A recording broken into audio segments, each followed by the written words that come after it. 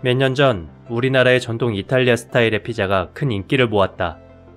그런데 150년 전만 해도 전 이탈리아에서 마르게리따라라는 이름은 함부로 입에 담을 수 없었다. 그 이유는 바로 여왕님의 조남이었기 때문이다. 당시 나폴리에는 에스포지토라는 이름의 피자집 주인이 있었다. 그는 여왕이 나폴리를 방문한다는 소식을 듣고 기념으로 마을의 명물인 피자를 선물한다는 아이디어를 냈다. 원래 피자는 귀족이 손도 대지 않던 음식인데 여왕이 자기가 만든 피자를 드셨다고 홍보하면 피자집이 대박 날 것을 노린 것이다. 에스포지토는 귀족들은 마늘을 먹지 않는다는 것을 알았기에 피자에서 마늘을 빼고 이탈리아 국기를 상징하는 빨간색 토마토, 하얀색 모짜렐라 치즈, 초록색 바질 잎사귀로 토핑을 만들어 여왕님에게 바쳤다. 평소라면 피자 같은 천한 음식을 먹을 리 없지만 시대가 시대인 만큼 여왕도 이곳 사람들의 환심을 사야 했다.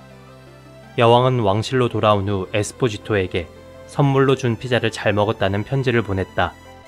여왕이 피자를 먹었는지 먹지 않았는지 확인할 방법은 없지만 에스포지토는 여왕이 보낸 편지를 들고 다니며 이 피자가 마르게리따 여왕이 먹은 피자라고 동네방네 떠들고 다니며 피자 홍보에 나섰다.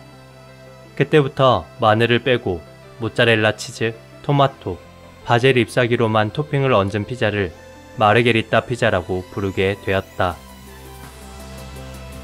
조승연 저 언어천재 조승연의 이야기 인문학 중